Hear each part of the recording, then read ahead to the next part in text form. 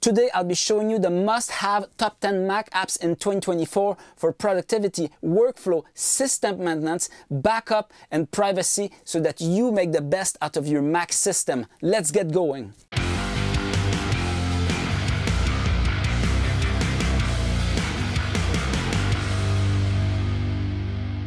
For all the apps I'll be talking about, all the links will be in the description if you want to go and download them and install them and try them for yourself. 10 years ago, I made the switch from PC over to Mac, and along the way, I found a few key apps that I ended up using almost every single day, and this is the list that I'm about to show you. What's the one thing we do more than anything on our computer? It's usually browsing the internet. That's why my number one app for power user is called Brave. It's a freeware based on the same source code as Chrome. Since the massive scandal that came out in 2018 regarding Facebook and Cambridge Analytica, users are now much more wary of their digital footprint and how their data is being used. Brave is a really fast and efficient alternative to Safari, and it comes in by default with these ad blockers that also prevents website tracking. So it's really optimal for user privacy. So I'm going to show you the few tweaks you need to do once you install the app. First thing you're to need to do is go to your main window here and go to customize. So you're to get rid of a few features that are not necessary. So first turn off background images, turn off sponsored images, you can turn off Brave Stats, Brave News as well.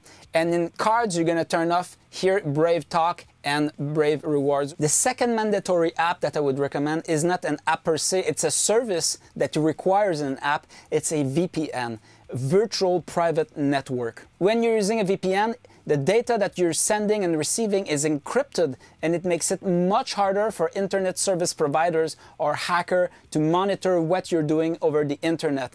And this helps a lot with your safety as well as your anonymity. The other amazing thing is that you can bypass geo-restricted content and access region-specific content. I'll show you how that works.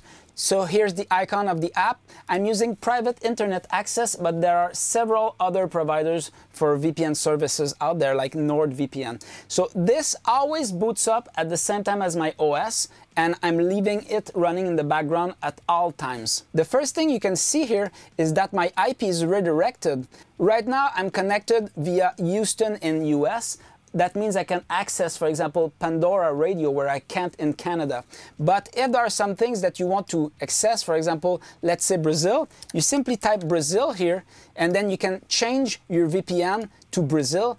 And now I'm going to be able to access content that's only available to Brazilian, something I would never be able to do without a VPN. VPNs are usually services that you have to pay monthly. In this case, I'm paying private internet access just over $2 per month. If you want to use a referral link in the description, this will give you one month for free. Still talking about privacy and security, our third app is Little Snitch. It's about $50 and it's the next level firewall because even though Windows and macOS come with built-in firewalls. They're not really bulletproof. I'm going to show you how Little Snitch operates. So here you can see the network monitor icon and when you open it, you're going to see a list of applications that are basically running in the background. And you can see here these in green were actually approved, but these in blue are pending. So for example, Parallels Desktop, which we're going to cover later on, uh, hasn't been approved. So I can decide to turn it off so this really helps you take control over what's being transmitted between your computer and any other server out there. And for example, if you have malware installed on your computer without you knowing, you're going to be able to detect the signal that's trying to ping the server from the malware to the server. So this can help prevent potential problems like that. The fourth app for power users is called VLC. It's a video and audio playback application that's basically an alternative to the built-in Apple Music. And why is VLC so cool? First, it's a freeware, open source. It works on both Mac and PC. And the awesome feature with that is it can basically play back any video or audio file type.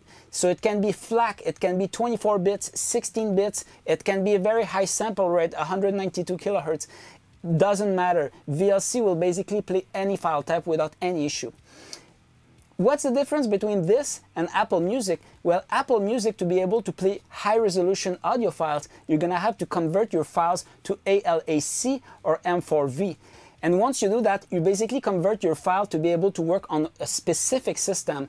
And it's always good to keep freedom over which type of system you want to use, either PC or Mac. So you should keep your files in original file format, like let's say FLAC at the source. So that way you never know if you go to a friend's house with your external hard drive, then you can play back your music. Or you can also play it on a PlayStation device or any other device like that. It's basically the same for hard drives. It's always better to have a hard drive that can be connected to both a Mac or a PC. So if you're trying to have a PC read an APFS format hard drive, it's not gonna work unless you install a third-party software, for example by Paragon Software, to be able to read your drive. Otherwise, it just won't work. So it's always good to keep freedom and basically autonomy on what kind of system can read your material or your devices. The fifth app for power users is called Caffeinated. It's the little coffee cup that you see right here. So you can activate and deactivate. And what does that do? It basically keeps your screen activated, it keeps your system awake without interruption. And this is vital when you're running virus scans, when you're doing long backups, when you're transferring data, let's say downloading large files. So that way you make sure that the file transfer is going to be completed before the computer goes to sleep. Number six is called Permissions Reset. That app really lets you take control over permissions file. So if you're a long-time Mac user, you probably stumble upon a problem once or twice that you tried to open the file and it says permission denied even if you were the administrator, you still couldn't open the file. So what do you do? You basically open here permissions reset and you drag and drop the file in it and reset permissions. And then after that you're going to be able to open any kind of file. The permissions will be basically set back to normal. So read and write. The seventh app for power users is called parallels desktop. And this allows you to run windows on your mac without having to do another partition on your hard drive uh, with boot camp or any other thing. So you simply open parallels desktop and you can run windows just like that so right now it's suspended so it doesn't take too much CPU CPU power. But as you can see, you don't need to do any extra step. You install it. This is about $99 yearly. It's now a subscription model, unfortunately, but it's still a really, really good app. And it allows you to run games or apps that are exclusive to PC. The eighth app for power users for general system maintenance is called Clean My Mac and I've been using this for many, many years. So as you can see here, you can do smart scan to clean up a few gigabytes, clean caches. You have also malware removal to get rid of spywares and stuff like that. And also really cool optimization and maintenance tools that you can get rid of login items and clean a bunch of things like for example free up RAM, free up purgeable space, re-index Spotlight, repair disk permissions, and also an uninstaller to make sure that you get rid of all the data when you're done using one application. The ninth app for power users is called Carbon Copy Cloner. It's a backup application.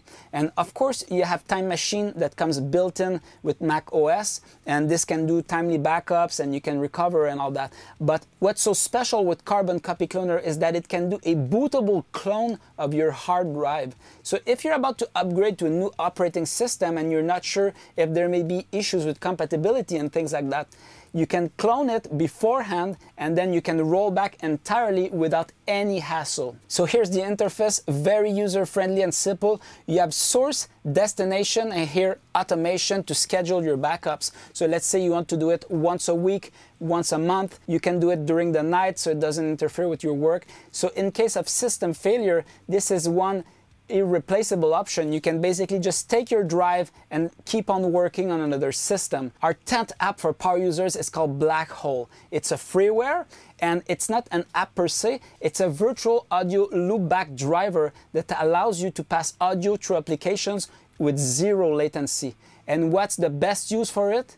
It's to do screen recordings and being able to record internal audio, which you can't do on a Mac normally.